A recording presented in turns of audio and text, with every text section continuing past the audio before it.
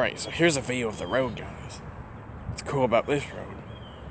It's concrete. It's made of concrete, and cars can drive on it. Even though there's cracks on the road, cars can still drive on it. And it's a really great road as well. Well, that's pretty much all I have to say. See you later.